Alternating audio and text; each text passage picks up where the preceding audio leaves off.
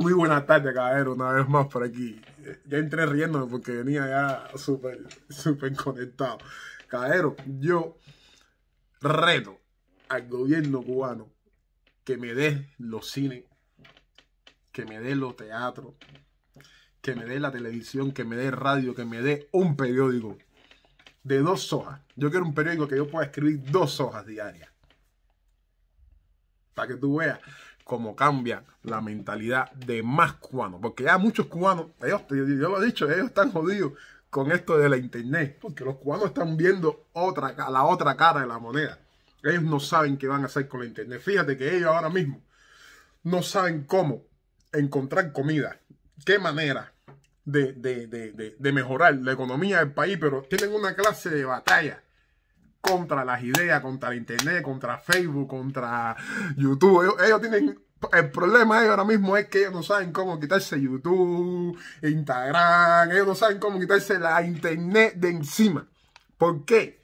Porque el internet es una de las cosas que le más dinero le genera a ellos, los telefonitos y esas cosas. Ellos no saben cómo ellos le van a quitar eso a los cubanos. Ellos, eh, si ellos, o sea, te lo voy a decir una cosa, si ellos se, se ven un poco más apretados, van a quitar la internet.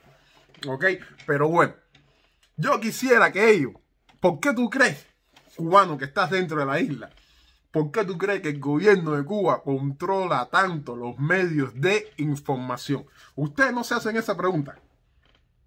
Yo estaba haciendo una, búsqueda aquí en, en Google. Y antes de 1959 había más de 40 periódicos en Cuba, periódicos. En ese tiempo no se podían llamar independientes, eran periódicos que hablaban de la realidad de Cuba. Porque para mí el periodismo es hablar de la, de la realidad de tu país. Y de internacional también. Tú puedes hablar internacional, pero tienes que enfocarte en tu país, en la realidad de tu país. Y el periódico de Cuba no habla nada de la realidad dentro de Cuba. El teatro.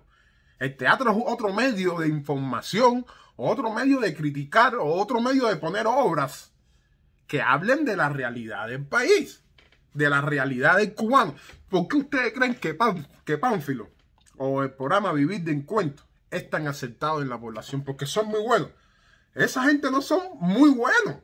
El problema de ellos es que hablan la realidad del cubano, hasta donde le permiten. ¿Tú crees que si a Vivir de Encuentro no tuviera que pasar por una comisión militar no, no, no hablarían más duro en contra del gobierno cubano. O en contra del gobierno, no, en contra. O no, no hablarían más duro en contra, para no decir esa palabra en contra. No hablarían más duro de la realidad que está pasando el pueblo de Cuba. Hablarían más duro, pero ellos hablan hasta donde le permiten, caballero. Mientras, ¿qué es lo que ha pasado? Mientras que el gobierno de Cuba siga controlando los medios audiovisuales, la radio, el periódico, la televisión, todas esas cosas, el cubano no va a ser libre, no va a venir la prosperidad al país. Miren lo que le estoy diciendo, un tipo que lo que tiene es un sexto grado. Prosperidad viene pegado, prosperidad es hermana gemela de libertad. Mientras que tú no tengas esa capacidad de comparar que ellos no te den la capacidad de comparar, de escuchar otra opinión, ustedes no van a ser libres. Si ustedes se ponen a fijarse, si ustedes ponen a fijarse, o ustedes se fijan en todos los cubanos, todos hablan de la misma manera, de la misma manera que habla Humberto López. Todos repiten lo mismo que dice Humberto López. Todos.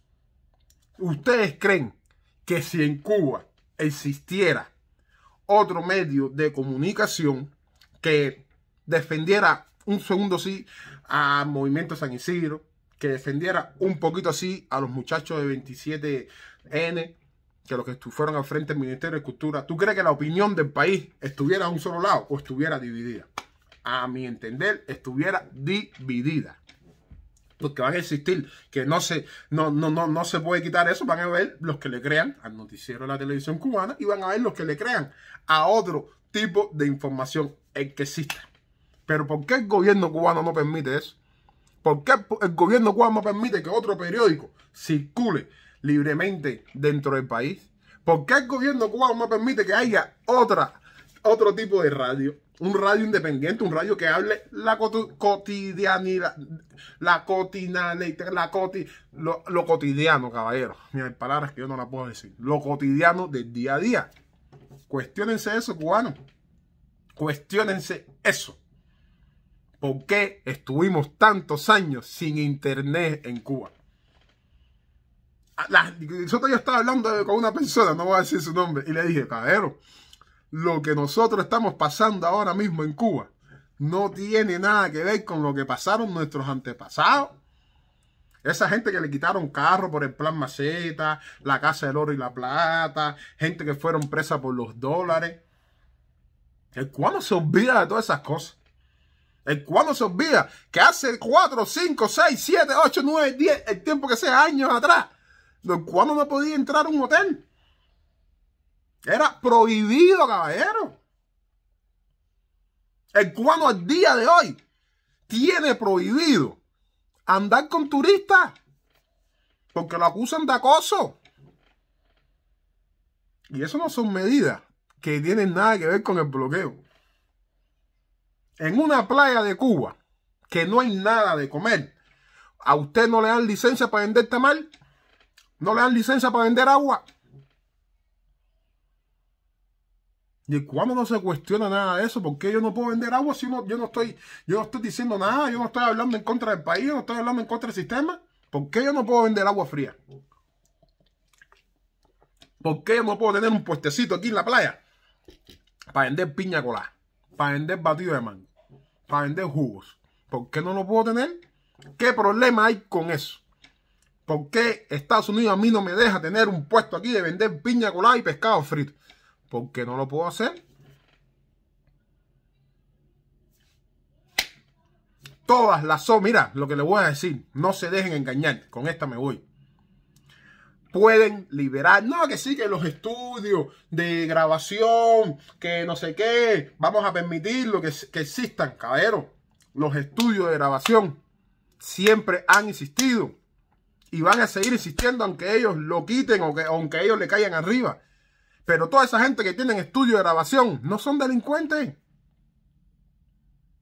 Pero para tú poner una, una, una obra de arte, una obra de teatro, en un teatro, para tú poner un cortometraje en un cine, tú vas a tener que pasar por una comisión militar.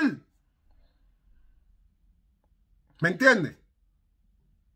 Ellos pueden liberar lo que le dé la gana.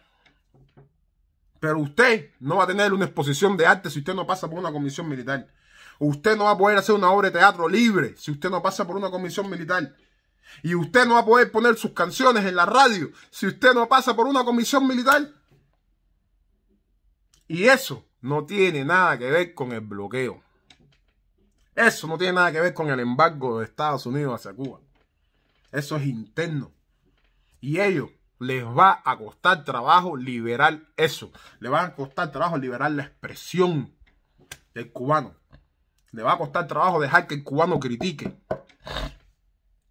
Porque el día que el cubano critique y el cubano, el día que el cubano pueda criticar con ganas, no criticar bajito en, la, en, la, en, el baño de su casa, no dentro de su casa, no, no, no, criticar abiertamente, porque criticar no es un delito. No estar de acuerdo no es un delito.